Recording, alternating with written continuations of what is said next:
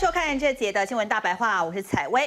那么首先要来欢迎这个阶段加入我们的来宾，亚洲跟拍一哥小葛，大家好；还有资深媒体人盛梅姐，大家好；还有资深媒体人武汉哥，主持人好，观众朋友大家好；民进党前立委亮哥，大家平安。好，这个阶段我首先还是要来谈一下王力宏。我们来看一下哦，最新进展是，哎，被他牵扯出来的女明星呢，也纷纷都发文喽。徐若瑄她发了什么文呢？她又二度发文说，王力宏先生的婚姻事件已经对他造成了极大的影响，他绝对没有对不起他的先生。但是这一篇文章啊，通篇就被大家说，哎，怎么怪怪的？其实啊，李静蕾也完全没有去点名是他，所以律师李。怡珍就说：“哪一个正常人会在这么紧绷的时刻去对号入座澄清呢？”那么这张照片呢就被挖出来了，所以很多网友就好奇呀，当时这个聚会有陈建州带着他的老婆范玮琪，哎，王力宏。怎么没有带李静蕾呢？李静蕾在哪边？那么现在网友也挖出来，徐若瑄她的 IG 似乎也泄露出了一些端倪，泄露出了一些心情。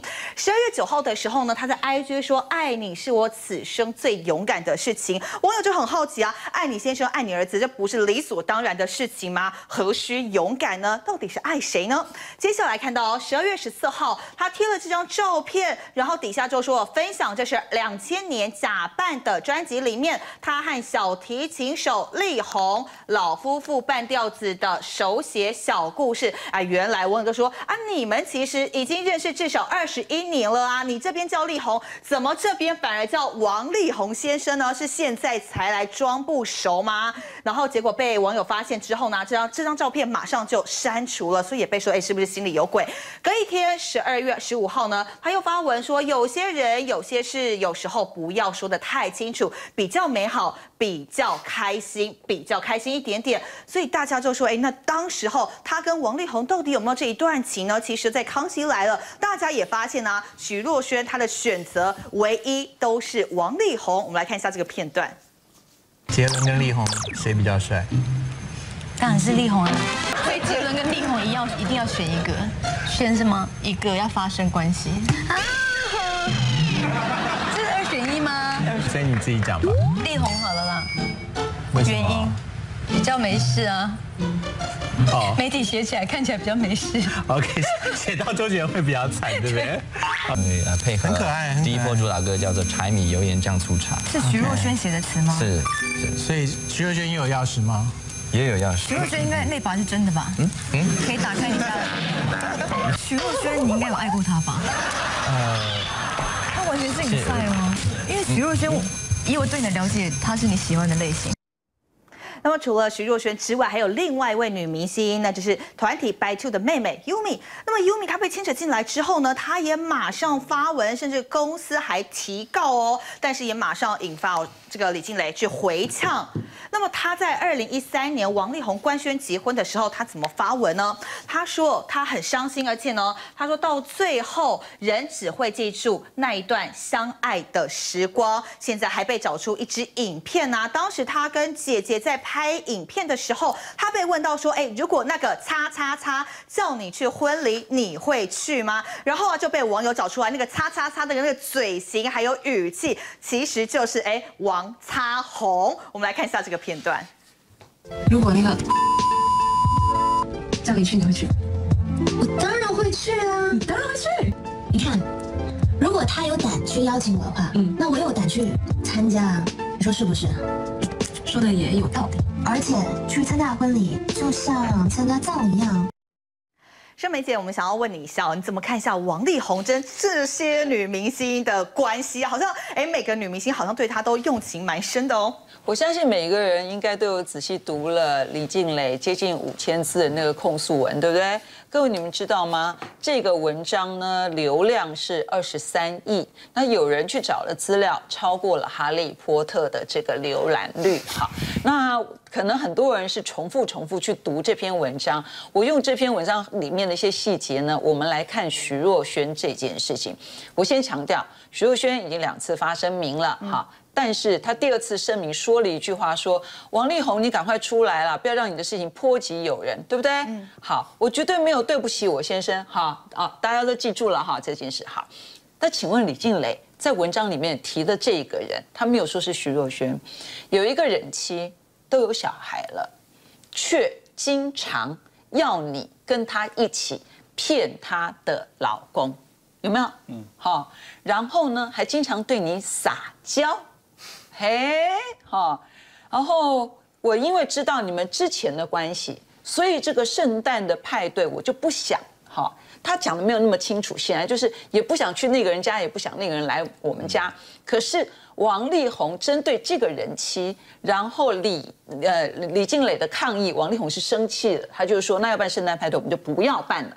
于是后面就有了，所以你宁愿违规，你都要去他家。请问哦，这个违规这些大家都已经对照出来，这个人我强调啊 Vivian，我没有说是你哦，但是这里面漏了一个线，那。他提到的这个人妻呢，三不五时都要王力宏来骗她的老公，骗什么呢？我没有对不起我老公，是这样吗？我这样子会不会踩到红线？我不知道，我只是觉得，我们光是从评论的角度看这件事，总觉得他有哪些猫腻是。这些公众人物没有讲出来的秘密啊，那为什么大家三不五时去看之前，呃，王力宏也好，或徐若瑄也好，他们接受访问的时候，为什么小 S 有这种直觉？好，这是每一个人都能判断的。所以为什么有些律师会说徐若瑄你这两次的声明其实是没有解释清楚，反而越描越黑？那是不是要李静蕾来说？可是李静蕾到目前为止，他没有说是，好。但重点来了，他没有说不是，哈，所以这个留下了很多很多大家想象的空间。这是第一件事情。那第二件事情，我真的就必须说白兔的这个妹妹优米了。这个更妙，是因为呢，她一开始也不是李静蕾爆料的哈。我必须强调啊，李静蕾没有爆料这件事情，是网络上有人爆料，而且说是双胞胎女团的闺蜜。好，记不记得？好好就开始讲了。这个优米啊，之前就跟王力宏一个什么关系，我就不用赘述。我相信你也读了这个资料了。这个新闻一出来，跳脚的是两个人，一个是白兔，一个就是王力宏，他们各自都已经发声明说要告。当然，王力宏的动作是激怒了李静蕾了，因为李静蕾不是在这个文章里面已经提到了嘛？你都说了，也就表示他们两个人其实是同意离婚了。那离婚，那王力宏一定有给李静蕾一些承诺，包括都由我来说。哈，不会去伤害到你们，但现在显然是王力宏只顾了自己，他没有去顾及到李静蕾的感受，才会让李静蕾在最后这时时间丢出了一个核子弹。但是我也要问，公众人物哦，你们在做任何事情的时候，一定要经得起检验。优米第一时间先。澄清对不对？说完那个那个那个照片是剪接之类啊，的确常常会有这样的状况。那个时候第一次的澄清，我相信很多的民众会想说，嗯，因为有一些照片的确是移花接木。但第二次你很紧急的就说我去报警了，是不是？嗯但又有网友说。你这个秀出来的这个报警的单子怪怪的，有没有？哦，这一张怪怪的。我是不想办案的哈，因为我们真的不需要对人家私人事情已经好像去查到骨子里。但是你所有的动作，你真的要经得起检验。那很多的民众说，你这个单子上的号码这些都不像是正确的报案单。但是优米也许有他的说法，也许他觉得某些资料他不要秀，可是。李静蕾都已经直接讲说，请告诉我警警方联系方式，我来提供证据。那你要先前提是你真的报警了吗？你真的有这个单子吗？还是说你现在是准备在进行法律诉讼？总之，虽然王力宏事件也涉及到其他的公众人物，但是我认为我们标准一致。我们同样去检验王力宏的时候，我们要检验检验这些被提到的人。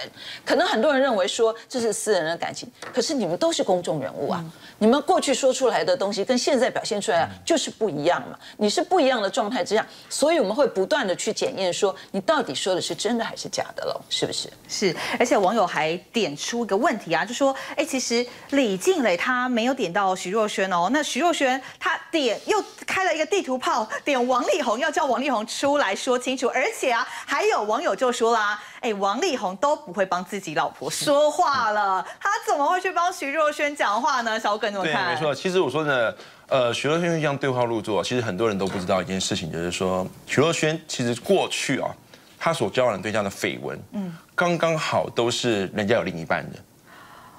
我记得在好几年前，就是在香港的时候，有狗仔就独家直接目击到冯德伦开车去载许若瑄，而且就在机场，两个人是坐在前座，被闪光灯闪那一下，他们两个吓到了。因为那个时候，其实，在传闻的时候，我们就知道说许若瑄好像有听到说他们俩在交往，但那时候冯德伦是跟谁在交往，你知道吗？跟莫文蔚，就那个时候才。准备要是分开的那段时间，就有这个耳闻说，这个男生好像是移情别恋了。这个女孩子就在听到这个听说而已。香港的狗仔就拍到这样的画面，哎，这是第一次。那还有第二次，就是那个时候我还有拍过一次许若瑄，是她那个时候在生日会的时候，她在喜来登办办办 party，她找了一个人，她找了佑胜。哦，对，那佑胜曾经有说过一句话：许若瑄是我的女神。他在在在一个记者会的时候，他就说他喜欢的女星是许若瑄。那一天没有其他的明星，许若瑄生日，佑生却突然在这个在地方，但是佑生那个时候是有女朋友的。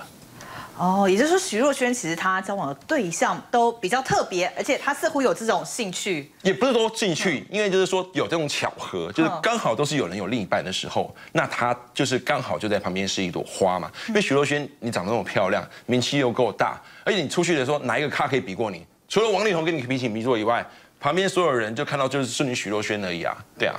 是，那盛美锦怎么看？王力宏到底会不会出来啊，帮徐若瑄讲清楚？当然不可能帮徐若瑄讲清楚啊，因为光是李静蕾的事情他都讲不清楚了。如果你这时候出来只是为了徐若瑄的话，我我相信第二颗这个核子弹绝对会炸开来。那接下来就是王力宏要怎么样去解决现在这样的状况？因为连王爸爸都被大家批评了嘛，显然就是这个火已经烧到王家的家族身上去了。那所以他要怎么样去面对？我觉得这比较重要。反而。我个人认为是徐若瑄恐怕要面对的是，她为什么要再三说我没有对不起我先生？我想各位应该都知道，我们都有另外一半。如果你的先生完全相信你或支持你，他也不需要这么着急。所以恐怕这个事件对他来说，我们必须也要持平一点讲，拉回来好了。就是徐若瑄。呃，他喜欢撒娇，他又很可爱。我相信，在这个音乐圈或者娱乐圈里面，这些天王级的艺人，真的是还蛮喜欢这一朵解语花。嗯，但是是什么样的？也许是惺惺相惜的关系，但是可能对于他们的另外一半来说，可能不是这样的状况。不过，徐若瑄绝对不是王力宏必须及时面对的那颗炸弹，他要面对的恐怕就是你到底。三点都过了，对不对？你到底要不要出来说句话，或表个态，或至少发一个声明呢？我认为会，我认为会，只是你千万千万不要这个声明出来有第二颗的核子弹，我认为这个几率比较高。是，哎，那小可问一下哦，既然这个刚刚提到嘛，徐若瑄跟王力宏其实他们已经真的认识很久了，对，那难道都没有被拍到过？哎，他们可能关系比较好啊，一起出去啊，什么等等的。呃。目前好像也真的没有拍到说，但只有就是也是有人爆料说，是徐若瑄的邻居说，哦对，有常常看到王力宏，但徐若瑄才会解释说，邻居误会啦，今年只来过两次。对，他们是好朋友，我们一直都知道。但是徐若瑄其实我拍过她几次，就是都蛮特别，是这不是我要爆料，这真的就有拍过，也都也就曝光过。有一回是蛮好笑的事情是，徐若瑄有一次就是坐了他们家的坐车。带了几个日本男生，哦，后来到了北投去，北投干嘛？就是泡温泉。对，而那个时候我就带了一个比较菜的狗仔，就跟我一起去。他就跟的时候啊，我们那个时候是差最后一步哦。男生拿到钥匙之后，两个人就是就是他们总我记得是三个人，总共四个人。嗯，呃，其中有一个徐若瑄四对，包括徐若瑄四个人，有两个人在一间。其实一个男生跟徐若瑄在最后一个进去进去那个温泉的屋子的时候，我们是跟在后面。当时许若瑄就起了，好像有狗仔，所以我那个时候就先退回来。我是比较远拍，我就坐在那个大厅的椅子上，我看报纸，当做不知道。我我手机就摆在那地方。发现我们的菜鸟狗仔啊，看到许若瑄啊，就很紧张，就发抖，你知道吗？发抖，他发抖发抖以后就就跑回来，就坐在我对面。我说：“你不要装作认，不要不要认识我，你就当不认识我。”结果许若瑄不进去了，许若瑄坐在我们旁边，就很近，就直接坐我们旁边。于是他看我手上的手机是我的，他竟然拿起我的手机，就直接翻了里面的照片。哇！翻了照片之后呢，他做了一件事情，他拿我的手机里面自拍了一张。对，他说我这张照片给你。这也是蛮挑衅的啊对，但是他就跟我讲说，你们可不可以不要这么写？不要这么写，因为那个时候刚好他在大陆有一些风声，就是跟日本的关系，就日本的立场，就是两个岸的一个这种政治对立的问题哦。所以那个时候他在日本的时候，其实很敏感，而又是在泡温泉，所以那个时候他是就是说哦，我们就是能不能不要写到这个东西？你们要什么？你跟我说，但不要写到这个。所以我觉得徐若等一下，我插个嘴哦，因为我身为你的主管，我怎么不知道这一段？那 你怎么能让徐若瑄把手机抢去，还在你面前拍了张照片？我有你有答应他？我有留着啊。我说你有没有答应他不写？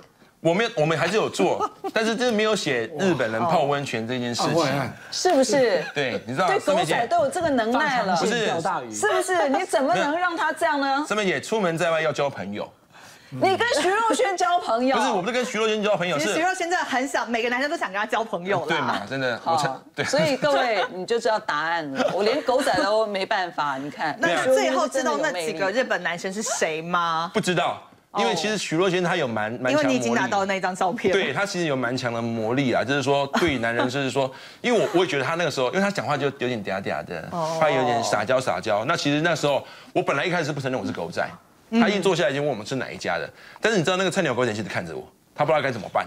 后来看着我，我我不得就不认啊，我就整个翻下来，我说哦对不起哦，我们是某某报社，那就是打扰一下，我们没有要侵犯的意思。对啊，他说你们这样子会吓到我的朋友。那当时只差一步，因为我们也不知道他到底要不要进去堂屋。这件事情，许若瑄应该自己很有印象。对，哦，所以就是呃，小葛你也被说服了。最后那四四个日本人，你也不知道是谁，对没有拍到，呃呃，是帅哥吗？你看王力宏他就拍得到，对，徐若瑄他就没辙而。且差最后一步哎。那所以最后你们的新闻方向怎么写呢？我们听的方向是显单纯，他就是带一些友人去泡汤，哦但是我们并没有提到说他跟他一起去堂屋。哦，真的好友善哦。所以徐，所以盛梅姐，我们就要来问啊，你看连徐若瑄讲几句话，她就可以把整个新闻这样子平息下来耶。你应该有看过她更厉害的招数吧？呃，应该这样说了哈，就是我不知道各位，如果你直接跟徐若瑄面对面的话，对为什么我们的菜鸟狗仔会很紧张？他的眼睛好有电，而且水汪汪的，呃，所以不好拍。不好拍的原因是因为他毕竟进入演艺圈真的蛮久的。我还记得过去我们很长时间都是拍他，有一段时间他蛮常做一些公益活动，比如说他会整整理一些二手衣，然后这个二手衣他会做一些义卖，然后去帮助一些弱势的人。那这一段我们那个时候还常常拍，所以他不好拍是因为他有警觉性，所以常常是被他识破的状态。然后他的经纪人也会跟我们沟通说，那就就类似小可这样的状况，就是说啊，能不能就说呃呃不要拍了哈，或者是其实我们这个是在做这个慈善活动哈之类啊，希望达到他想宣传的目的，类似这样了。不过我要强调就是说呢，基本上要在我这里告诉我说不要做，或者是抢我手机是比较难的。了解，但是徐若瑄的魔力可以达到那个难度啊，很厉害。那小葛，我们回过头就要来问啊，那包含呢王力宏，还有其他他周边那一些呃歌王好朋友啊等等啊，有没有被拍到？然后一样就是哎没有被爆出来的。其实我们就我前几天有讲过，就是通常就是这种事情发生的时候啊，好，你没有结婚没什么事情，你一结婚那真的是那女生如果跟人离婚什么都拿不到的话，她就连命都不要了。她连命不要的话，她什么都不怕。所以我说真的，一开始就是陶喆嘛，嗯，陶喆完以后就是罗志祥，罗志祥还算好的哦。因为罗志祥他还算好，因为罗志祥他本身的形象就是很爱交朋友，跟女生就勾肩搭背。但王力宏你不一样哎，你是优质偶像哎，你是一个女生的断绝哎这种断缘体，嗯，对，你是没有绝缘体绝缘体啦，对，绝缘体，对不起哦，就是他是一个绝缘体，我们觉得说他形象特别的好，怎么会做出这样的事情呢？那当然，圈内也是有这样的例子啊，就曾经就是有一个很大牌的明星，也是一样，都刚好都唱片线的，怎么会那么巧啊？就是唱片线的一个一个一个一个男星啊，他就是在酒店喝酒，结果就把这个女孩子带了出去。哦，没想到发生的事情之后呢，竟然这个女孩子真的就中奖了，肚子就大了起来。啊，肚子大了起来呢，当时要一定是要就是赡养费嘛，或者是索赔，或者是堕胎嘛。没想到男星完全是置之不理耶，就当天那个晚上是好好好好的，好像男女朋友一样，可能还说了我爱你，但是明天隔天之后说，我根本不认识你，我们就完全不熟这样子。所以那个时候呢，那个女生的朋友就来跟我爆料这件事情。那那个男星是刚刚有出现在我们讲的那张照片上面的吗？除除了周董没事之外，其他那几个人的其中之一吗？呃，你你这样太用力了。等一下，我们我们这样讲哦，就是说，但是这件事情呢，其实有一个巧合点哈，就是当时我收到这个线报之后，我还没有报，因为我们还没有证据照片嘛。那女孩子你还没出来想愿意讲，那个时候她刚好有签唱会，结果就被揍了。就被揍了。那揍完之后呢，我又收到一个电话说他没有处理好，而且私下的和解。哎，那好像就有点明显了哈。那这号人物也很厉害哦。他最后玩不在台湾玩，他去哪里玩？去大陆玩。他到大陆玩的时候呢，找谁一起玩？找官二代玩。你知道吗？在大陆，官二代是绝对不能碰的。政商名流只要是官跟官有关系不能碰，一碰一系之间企业会没有，还有人可能也不保。可能会被抓走，所以我们看到他跟关二在在一起的时候，我们是相机连拿都不敢拿，连跟都不敢跟。我有一回正就跟他，就被旁边的狗仔拉住，因为我不懂他们风俗民情，就被拉走。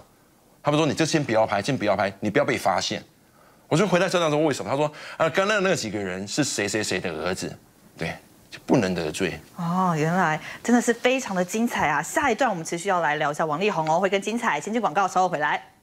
这两天啊，大家就发明了两个新名词啊，其实也不是新名词，旧名词新新解释啊，叫做“雷神之锤对上洪荒之力”啊。雷是谁啊？李静蕾啊，李静蕾之锤呀，一锤又一锤的锤出了真相。但是对照的王力宏啊，很慌张，洪荒之力啊。所以现在王力宏当然恐怕觉得说这个苗头不对啦，再这样下去，李静蕾没有要收手的意思哦，他手上不知道握有多少的证据哦，所以。其实你看看，十二月十九号的时候，晚上的十一点钟，昨天王力宏 Po 文啊，他就说他五年八个月都是活在什么恐惧勒索威胁之下，什么已经毁了我啊，不要再影响孩子啊，求求你让我见孩子一面之类的。然后李静蕾立刻秀出来说，我昨天就打了五通电话给你啊，在这边啊，五通电话你也没有要接啊，那请问你到底是谁真谁假呢？所以他就再爆出来说啊，你有这种什么什么性成瘾啊，自恋性的这。种人格啦，反正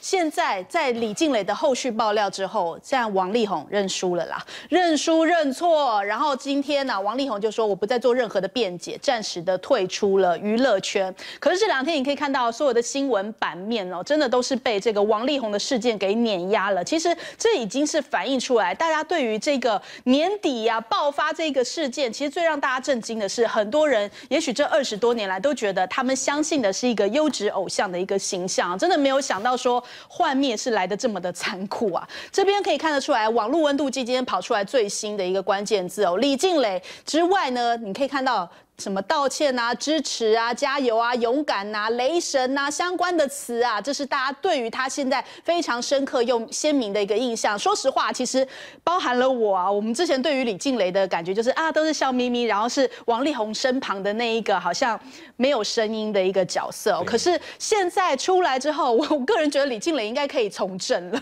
可以来选一下这个台北市长。我觉得搞不好狗仔队真的是浪费。我觉得他很厉害，他现在完全是一个正义的。化身，特别是这两天，非常多的女性都有共鸣，而觉得说啊，李静蕾讲出了一个女生、女女性，或者是说在婚姻里面遭受到跟她同样状况的人都有所共鸣哦。所以其实包含像是我们刚刚看到王力宏的词哦，不再是那种什么优质偶像啊、什么阳光男孩那一类的词在身旁，而反而是我们可以回到刚刚那一张嘛，反而是那些比较负面的词啊，比方招什么啊、约什么呀、劈腿啊，然后约什么呀、切割、羞辱、出轨啊之类的婚变呐，都已经变成了王力宏新的的一些关键字哦。那在这边我们来看一下，甚至连四大公投啊，都已经是被盖过去的一种状况了。你看看下面这一条线是王力宏的相关讨论，从之前十五号爆出来，其实都跟公投有很大的差距哦。但是今天啊，扶摇直上啊，直接是超越了公投了。因为现在大家感觉好像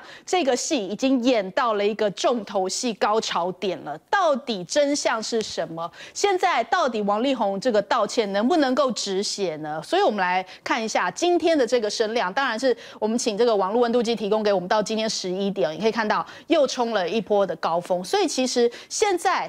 大家真的很很多天都没有好好睡觉了，很多天都在追这一个事情哦。为什么大家的关注度那么高？就是因为我们今年以来真的太多人经历到幻灭的一种感受了。来问一下小哥，真的是，因为我说真的，力宏，你刚刚去发表这个这个文章，你说你在五年八个月的时间，我活在这恐惧、勒索和威胁之下，你去毁了我，不要影响孩子，你还拿孩子当挡箭牌。那我告诉你，你是五年八个月，不好意思，李静蕾是整整的八年。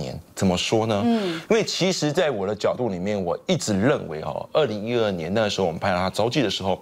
虽然没有写王力宏这三个字，但是哦，优质偶像这个东西在圈内已经传开了，圈内绝对知道优质偶像是谁。是，那他一直饱受这样的压力，不敢发声。谁问到的时候，他就就是回绝、回绝、回绝。他只要问到就尴尬。在二零一三年的时候，突然从来没有看过的李静蕾，他就跟你结婚了。嗯，你很大方开了记者会，这一切都是这样操作的，你知道吗？你你至少你也做了漂亮一点的事，一开始拍到交往、牵手，再步入婚礼。你看周杰伦嘛，周杰伦也是一样，哎，人家是天王中的天王，人家也是有一个过程。你既然没有这个过程，你直接跳过，就直接变成结婚。那还好，二零一二年，白兔讲说他跟你才分手一个月，分手那一个月呢，他就放掉了你。那时候你告诉他什么？你告诉他说，我有新的人了，嗯，我有新的约会。这句话到底是什么意思啊？你是告诉人家说你还没有还没有分手，不好意思，我爱上一个新的人了，所以不好意思，请你包容我。因为说真的，百兔如果当时没有出来讲的话，其实我也觉得这可能是男生一贯的招数啊。怎么说呢？就是说今天如果说男生跟你交往的话，你是我是个大明星，嗯，你也知道说我不能随便公开。对，我如果有女朋友的话，我粉丝量可能就少，是支持了我的就少。那同样百度他自己也是艺人啊，所以他自己是将心比心。他可能就是吞了下去，停留在原地，但是这样子就等于说重放了王力宏在做这些事情。嗯，所以以上就是发生这样那么多的事情，就是出的问题是在王力宏身上。是，对。还有第二个就是说，李建成说爆出他有性成瘾、坏自恋人格，我才是长期受受呃遭受到精神虐待、羞辱、被你操控的那个人。就刚我讲的，他的操控那个人什么意思？就是他忍你那八年。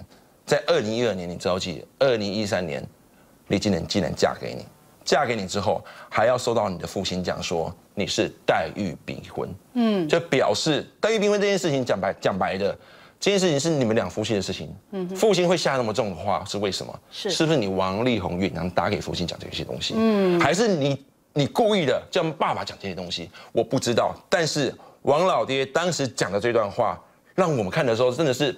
非常错愕啊！你说你想孩子爱孩子，怀又了生了三胎，那你讲这生了三胎，不就是因为你性成瘾而造成的吗？嗯，如果以上这样讲的话，照王老爹的说辞，对啊，到回来讲，今天李静蕾他今天受到这样的虐待，好这样子的操控，那李静蕾最后还帮他生了三胎，那不是因为爱你、包容你、我忍耐你到底线，一直到前天我告诉你说，你三点之前一定要出来道歉，是你不出来道歉不要紧。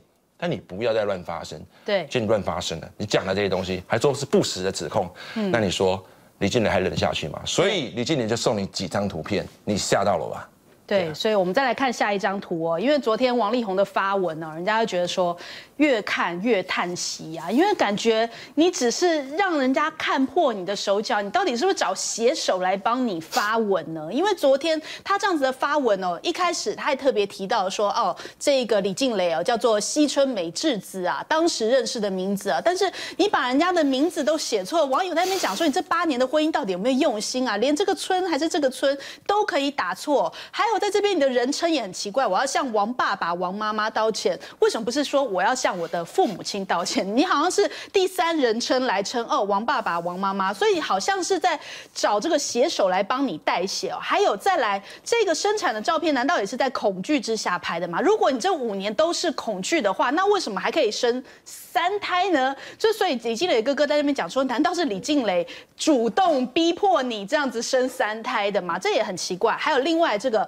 Hello Stranger，Hello Stranger 怎么会是一种陌生人？翻译为陌生真人哦，这个是小编帮你翻错了吗？有人在那边想说，那你这些年的歌词到底都怎么写的？所以种种的这种好像漏洞百出的一个声明，只是让大家觉得说，哎呀，对王力宏更加的失望哦。怎么是这样子？二十六年后，大家看清楚这样的一个真相，而且其实，在几天前呢，微博上面就已经开始在流传了，就是说李静蕾的日本名字是叫做西村美智子啊，然后还说啊，你搜寻这个哥伦比亚大学，你都找不到李静蕾这个名字啊，是不是什么学历有假，还是什么之类的？好像已经在开始动起网军来，难道网网军王力宏也要发动网军来洗风向吗？另外啊，还有在这边你可以看到他在信箱里面的分类 N Y C 啊，这是不是就坐实了李静蕾讲说你要用这个地名来做分类信箱？难道是每个城市都有好朋友吗？那其实哦，这个之前这个艺人王凯蒂就是跟这个许纯美曾经大吵一架的这个王凯蒂啊，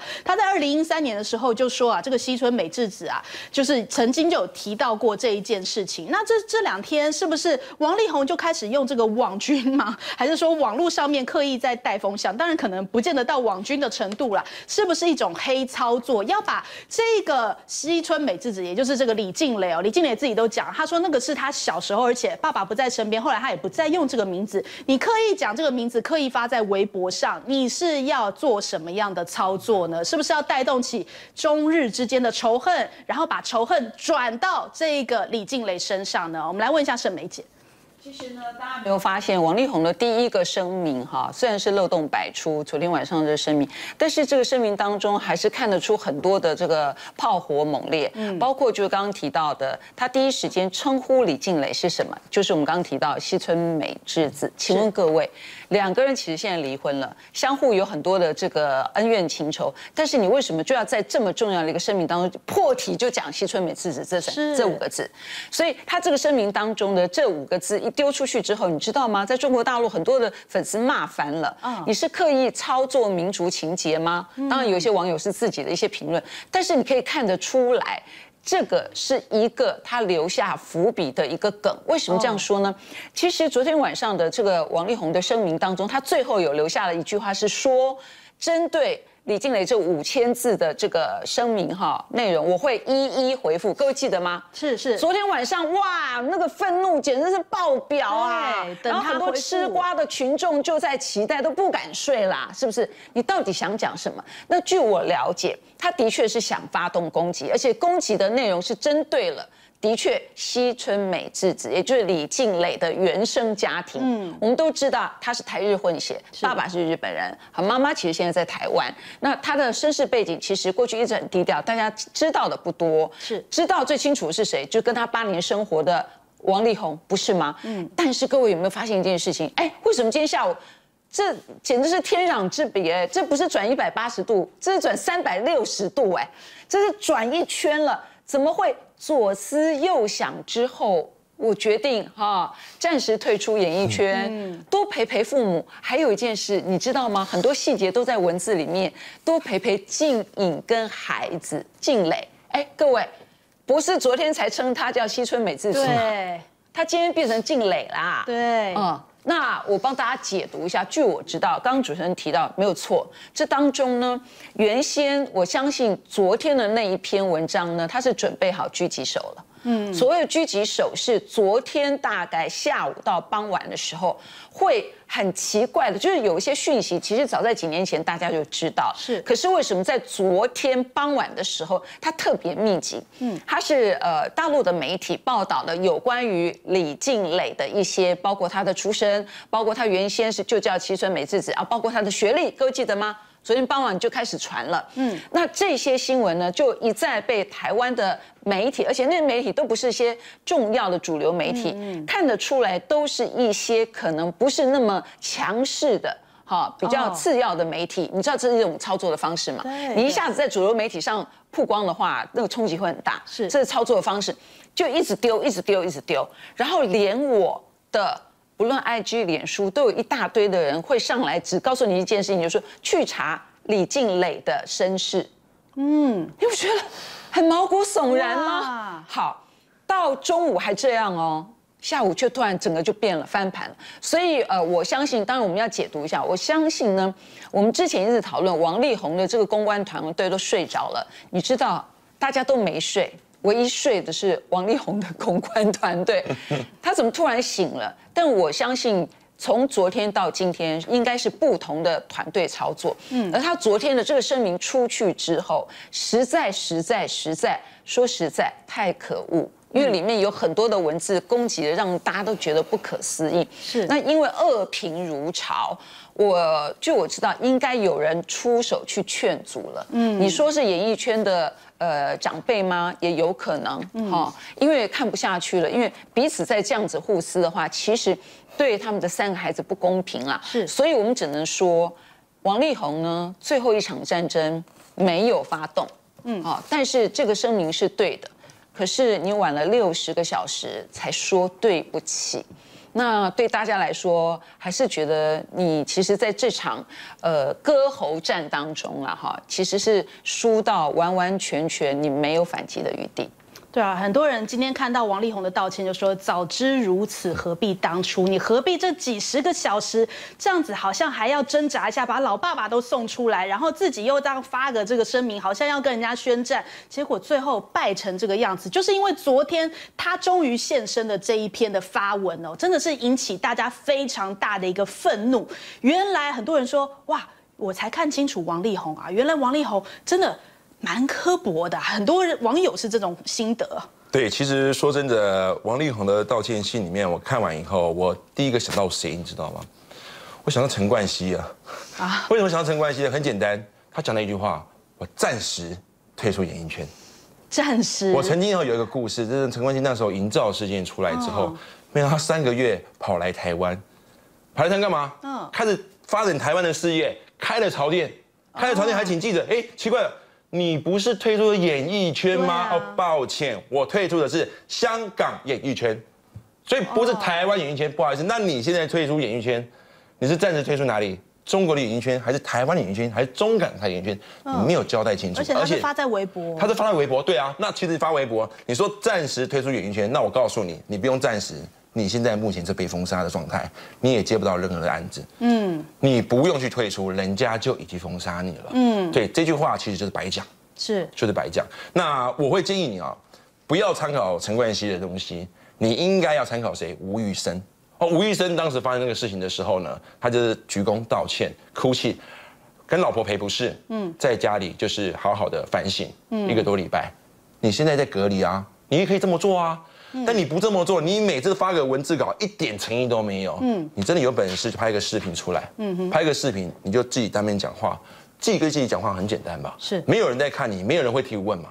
这其实这你最好的台阶下就是这个时间了，你知道吗？王力宏，你就只有这样，现在剩下五天了，五天这个时间，你再不好好把握，你再来接下来你就是回家自我隔离，你出来面对媒体，出来面对媒体你不说话不要紧，在七天后你出来堵到你，你还是得讲。嗯，对。可是我们台湾是不是对于这些犯过错的艺人，真的是比较有包容？因为你我们刚刚在广告时候有聊啊，在大陆被抓到吸毒的，在台湾也可以重新出来再拍个电影，或者是说之前就是在王力宏之前，大家所谓的大魔王，哎，最近好像也要在跨年晚会来复出了。所以是不是王力宏在台湾如果哎消失一下下，大家还会再给他机会吗？沈梅姐，我们不是常说台湾最美的风景是人吗？我。我一直觉得台湾民众或消费者或者粉丝对公众人物包容性的确是蛮强的，甚至于就刚刚各位提到，有一些人他犯了一些错，不论是个人感情问题、违法的问题，那回到台湾之后也有很好的发展空间。那至于王力宏，我认为目前为止应该是留校查看。不过呢，刚刚我们提到他的刻薄，我们正要提一下。大家总是搞不清楚哦，这个王力宏、李静蕾既然都已经离婚，他们争执的焦点在哪里？嗯，因为王力宏昨天已经一直抱怨说，李静蕾不是你们想象的不要钱呢，他一开始也开口要八点八亿。台币，我先帮他大家把它换成新台币。那后来决定是六点六亿哦，他又要什么又要什么？那其实我们一般的这个庶民都会觉得，哇，这个数字其实看来你们也不缺钱嘛。那你们争执的焦点在哪里？是在那栋房子嘛，各位，吴江。因为李静蕾的认定，我觉得李静蕾是对的，因为他说这个六点六亿并不是赡养费，这就是认定的问题。这是我在嫁给你之后，我也有工作啊。因为我担任你的经纪人，接了工作，这是我们两个人共同赚的，我应得的。他本来就在我的名下。各位注意哦，李经人把这英文的这些证据都秀秀出来，意思说这本来就在我的名下。所以我说，在离婚之后，我没有跟你要赡养费，这是事实，没有错，彼此的认定不同。但是刻薄的。王力宏，我们之前都说他节俭啦，很省啦，好像是一种美德啦。但是你的节俭不能到最后是对你身边人的刻薄。我记得他过去常讲，我都不会买名名牌给我的小孩啦，我不会怎样怎样。但是他现在争执的是什么？王力宏的认定是觉得六呃，从八点八亿到六点六亿都很多了，他会觉得对方好像狮子大开口。哎，各位，王力宏如果身价只有五亿，对方开个六亿。感觉你无无法负荷，可是连维基百科上都说你身价是三十亿新台币，不是吗？好，当然这是你们自己双方要去讨论的。但是普罗大众普世的价值来看起来，好像李静蕾并不过分。好，再来，我们讲到那个房子，其实呢，王力宏争的是钱。因为王力宏就觉得我为什么要给你这个房子？但李静蕾认为这是应该的，因为我们我跟你的三个孩子，我们的三个孩子都住在这个房子里。对，你说借我住十八年，你知道这是什么意思吗？嗯，那还是这男人真的是，嗯，这男人就是房子我不会给你住到十八年，他们的小儿子现在三岁，十八年之后也就成年了。是这个房子我不会给你啊，我给我的孩子啊。嗯，但。这这种感觉，李静蕾显然她争的是什么？是情分，是是是一种情分。你你不爱我的脑，子爱我的子宫吗？我说的现实一点，这哪个女人能接受？所以王力宏也不要难过，说好像大家都千夫所指，而是。如果你觉得你这几分钱你都要克扣，然后你都觉得这些钱，呃，你不想给你身边的你的你孩子的母亲，但是现在反观过去，你省了那些钱，只让大家觉得你这个人跟你的公众形象好像落差好大。是，你不是认养了二十二个孤儿吗？你不是都在做慈善事业吗？啊，原来一个优质偶像左思右想啊，计较钱的呀。先休息一下，广告之后马上回来。